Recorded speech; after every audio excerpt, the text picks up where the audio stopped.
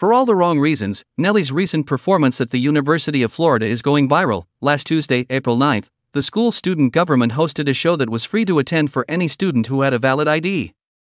Regretfully, it appears that not many people attended because a widely shared video from the occasion largely displays empty house seats during the performance, which lasted an hour. The low attendance, according to local Florida outlet WUFT, caused the gig to be postponed by an hour.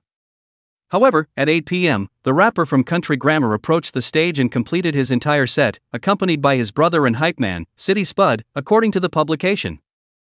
There was a larger crowd on the floor when the act eventually started, but the arena seats were mostly empty, as shown in the TikTok below. It appears that not many students knew anything about him because the journal interviewed a few people who went just because it was a free event. They spoke with someone who originally did not know who Nelly was, but once her friend explained, she was excited to attend, and another who said, I like concerts a lot and I write a list of people I've seen live, so why not add another? Many college students were not even born when Nelly was at the height of his popularity in the early 2000s, since they range in age from 18 to about 22.